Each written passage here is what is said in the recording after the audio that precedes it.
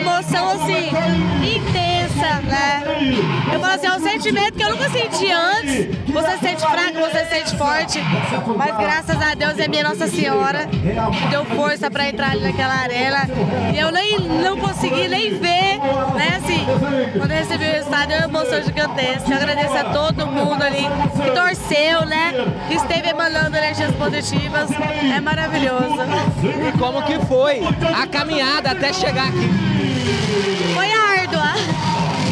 Foi pra gente vender as rifas, foi mais de 5 mil e 100 reais de rifas vendidas, né? Nós fizemos pit stop. Hoje, pra ter toda essa torcida aqui, foi a tarde inteira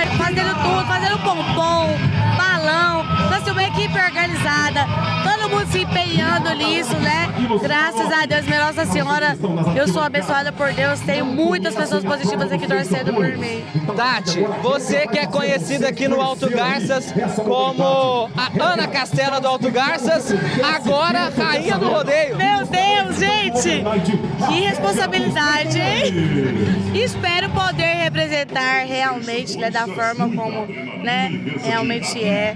E assim, é um orgulho gigantesco porque nós que somos desse meio, né, pra gente é gratificante, porque nós vivemos isso, né? Então todos os dias nós estamos aqui das 7 às 10, às 11 da noite, vivendo nesse meio. Então assim, é maravilhoso, é gratificante e me dá força cada dia mais. Isso daqui pra mim foi uma vitória interna. Então assim, é maravilhoso. Parabéns! Obrigada.